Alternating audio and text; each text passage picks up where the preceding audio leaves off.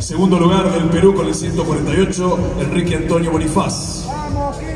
En primer lugar de Chile con el 149, Horacio Castro Guajardo. ¡Vamos, Quique! Reciben sus premiaciones. Segundo y primer lugar. Adelante, por favor.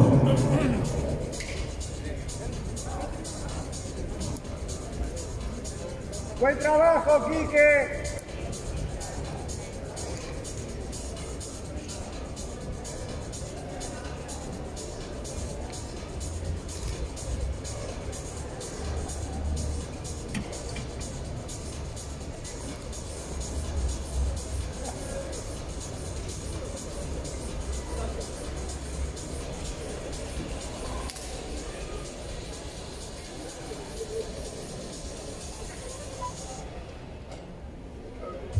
Nos ponemos de pie, himno de la República de Chile.